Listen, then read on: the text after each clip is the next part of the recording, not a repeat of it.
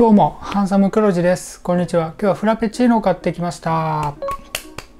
こちらです。じゃん。真っ黒ですね。黒い。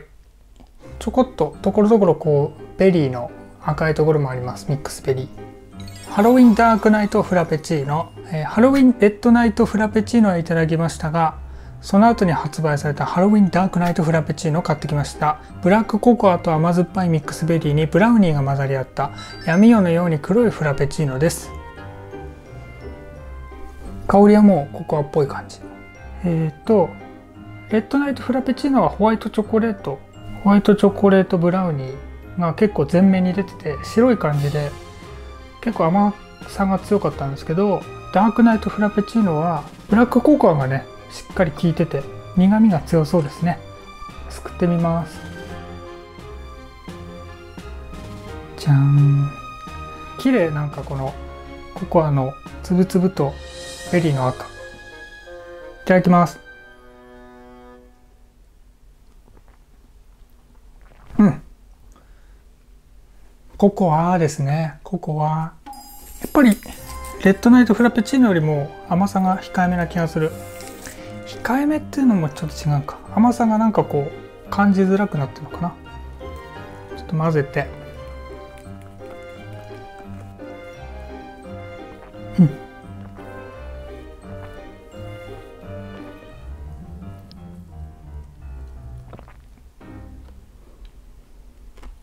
うん。うん。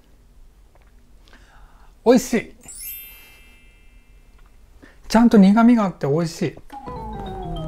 ダークナイトフラペチーノ苦味が結構効いててペットよりも飲みやすく感じました。甘酸っぱさと苦味があって僕的にすごい好みの味だなと思いました。美味しかったです。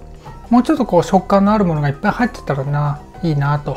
一応ナッツが入っててカリッとした食感はねたまに来るんですけどもっとサクサクとかプルプルとかあったら嬉しいですね僕的にはね。